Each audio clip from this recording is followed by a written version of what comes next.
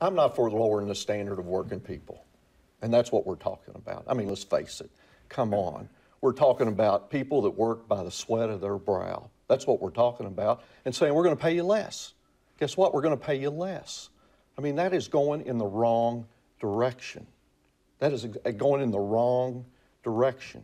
Senator Givens? Well, right to work doesn't necessarily presume that you're going to be paying someone less. Right to work simply says if you're employed by what we consider to be a union workplace, do you have to pay dues into that union? And uh, we live in a free country. We live in a society that says the best person to bring the best skill sets should get paid the most money, and they should have the freedom to choose to pay into a union or not. And if you start to look at the states around us, it's a litmus test for corporations wanting a place to locate and or expand a business.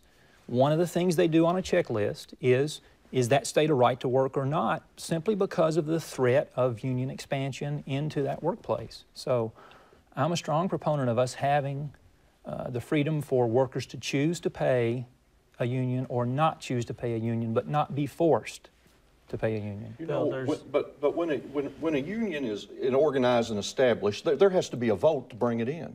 So there is a vote. There is a vote. I mean, you know, when people vote for me, I don't get 100% of the vote, but people accept me as their representative uh, for, for the two years that I serve. And so that's the same thing with the union. There's a mechanism to vote them out. It happens. It, I mean, we're acting like that people have no choice, absolutely no choice, and they do. They, they have a choice. I served on a rural electric board, was unionized while I was there. Uh, you know, the employees had a vote. There was an election. There was lobbying on both sides uh, about it, and it, and it won, and, and it's worked. It's worked fine. It's worked fine. I have to disagree with Chairman Rand. Um, it is a huge factor when relocating, when locating a business to a state. We are marked off of numerous lists because of it. Um, and the evidence, um, if you look at right to work states, if you look at the wages in right to work states and the wage growth over time in right to work states, it exceeds that of non right to work states and it exceeds that of the national average. It's so it's, it's just not true the, the, standard of living, the wages of, of, of, workers in states that are right to bargain, they're not right to work, are much higher than in right to work states. We, we can't win in this sort of race to the bottom. You know, we can't win by. Uh, why, why would that be a race to the bottom? Because of because those wages are going to be lower. Wa wages are lower in right to work states than they are in other states. Now, now you're, gonna, you're, you're, both good friends of Kentucky Tonight, and you've been on this program before, and we've debated this uh, uh, before.